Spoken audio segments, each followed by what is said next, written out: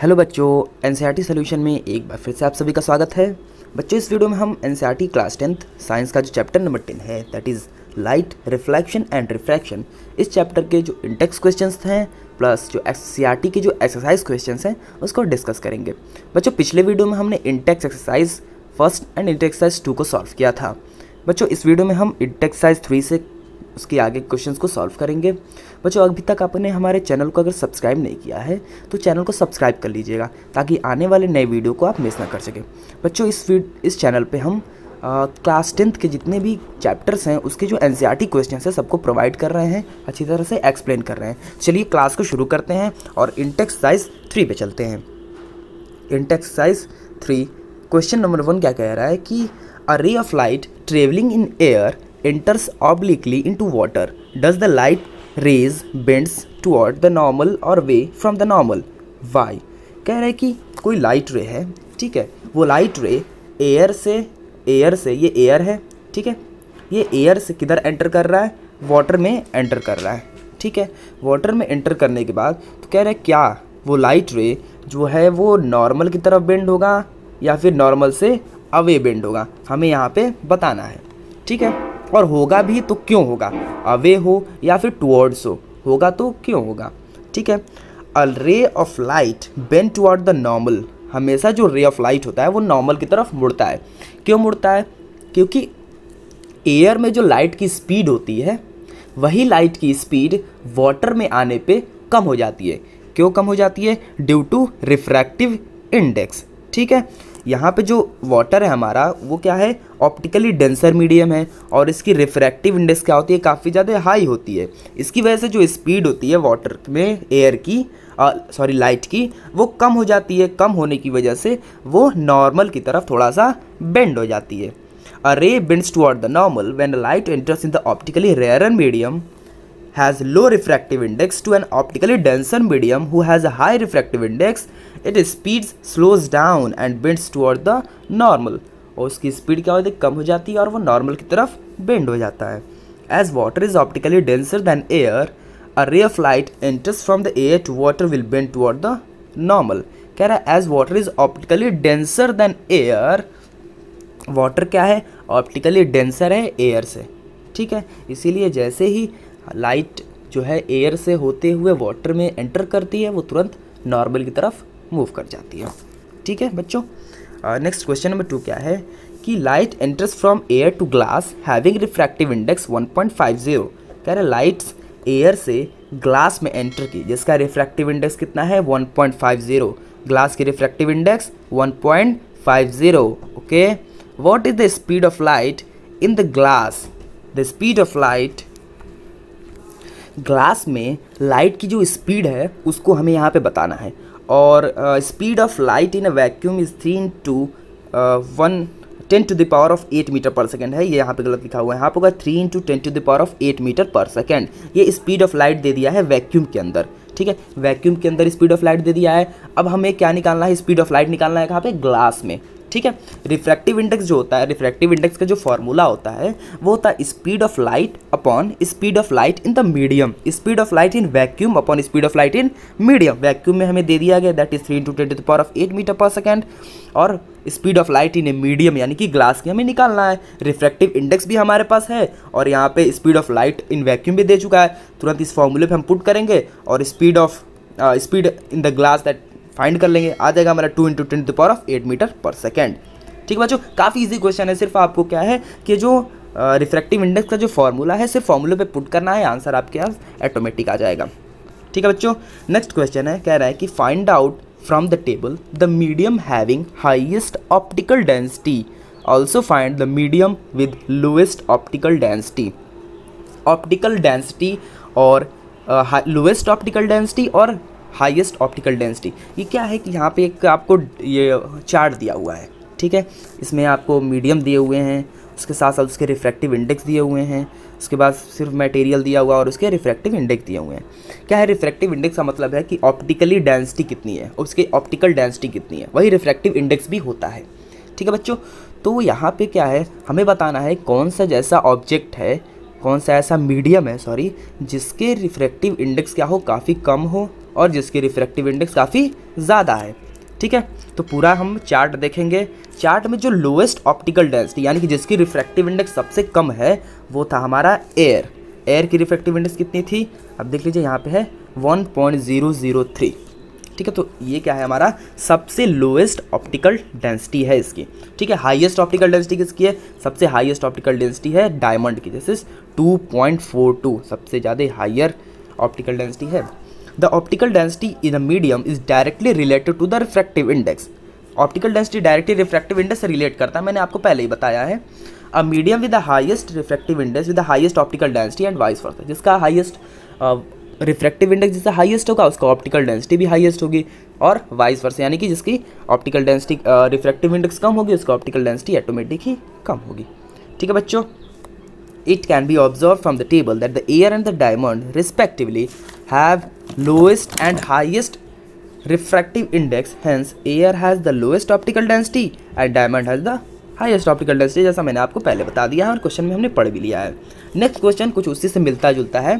कह रहा है कि you have given kerosene turpentine turpentine sorry and water in which of this does the light travel fastest the information given in the table यहाँ पे क्या है? कुछ ये हमें वो दिए हुए मीडियम दिए हुए हैं, ठीक है? और उस मीडियम में हमें बताना है कौन सी मीडियम में लाइट जो है सबसे तेज मूव करेगा हाई फास्टेस्ट स्पीड उसकी ज़्यादा होगी और इस इन्फॉर्मेशन को हमें यूज़ करके बताना है, ठीक है? एयर आइस ये सब दिया हुआ है यहाँ पे, हमारे पास एग्जाम्पल्स दिए हुए हैं, ठीक है? आप इस एग्जाम्पल्स को अच्छी तरह से पढ़िएगा। आंसर इसका जो हो जाएगा, ये दो बार रिपीट हो गया है, एक ही चीज़, इसको हम आगे स्किप कर देते हैं। Light travels faster in the water as compared to kerosene and turpentine as the refractive index of water is lower than that of the kerosene and turpentine क्या है कि आपको पता होगा कि रिफ्रैक्टिव इंडेक्स जिसकी कम होती है हाँ लाइट उसमें फास्टर चलता है यानी कि जिसकी refractive index speed of light is inversely proportional to refractive index यानी कि जिसकी रिफ्रैक्टिव इंडेक्स ज़्यादा होगी, उसमें लाइट क्या होगी? स्लो मूव करेगी। और जिसकी रिफ्रैक्टिव इंडेक्स कम होगी, उसमें लाइट फास्टर मूव करेगा। तो वाटर की जो रिफ्रैक्टिव इंडेक्स है, वो काफ़ी कम है as compare to kerosene and turpentine ठीक है? तो इसलिए रिफ्रैक्टिव इंडेक्स कम होने की वजह से वाटर में लाइट क्या होगी? फास्टर चलेगी। ठीक है, यहाँ पर देखिए लिखा भी है speed of light is inversely proportional to refractive index ठीक है, बच्चों? ऐसे बहुत सारे आपको क्वेश्चंस मिलेंगे एग्ज़ाम में। एग्ज़ाम के लिए काफ़ी ज़्यादा इंपॉर्टेंट है।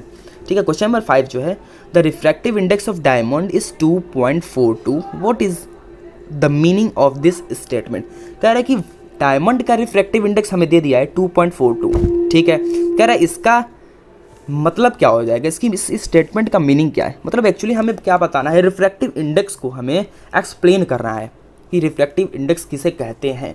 ठीक है तो अगर कहा जाए तो refractive index of the diamond is 2.42 point four two यहाँ पर लिखा हुआ इसका मतलब the speed of light in diamond is one upon two point four two times the speed of light in vacuum मतलब जितनी स्पीड ऑफ़ लाइट वैक्यूम में है हाँ स्पीड ऑफ़ लाइट जितनी वैक्यूम में है, उतने गुना स्पीड ऑफ़ लाइट डायमंड में कम हो जाता है।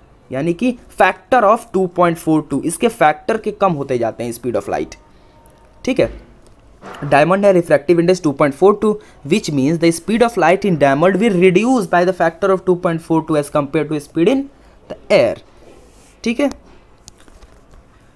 हाँ इंटेक्स एक्सरसाइज फोर देख लेते हैं। क्वेश्चन नंबर फ़र्स्ट क्या पूछा है?